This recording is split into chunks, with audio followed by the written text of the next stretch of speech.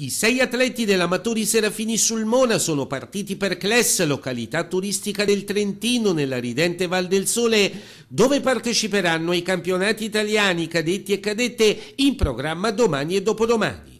C'è grande attesa per le prestazioni di Ludovica Di Cesare nei 300 metri e nella staffetta 4%, Giorgia Calabrese negli 80 metri e nella 4%, Vittoria Casaccia nel salto in alto, Luigi Marrese nei 300 metri e nella staffetta 4%, Remo Palazzone nei 300 metri ostacoli e Mario Garofalo nel lancio del peso porteranno in alto il nome della città di Sulmone e delle loro scuole, il Polo Scientifico Rico Fermi ed il Giambattista Vico.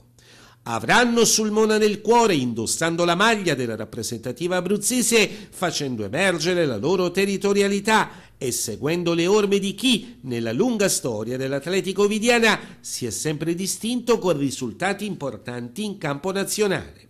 Un onore per la città di Sulmona avere propri rappresentanti tra le tante promesse che parteciperanno ai tricolori cadetti, oltre 1200. Si tratta inoltre di un record perché per la prima volta nella storia sei atleti sulmonesi sono stati convocati per un campionato nazionale.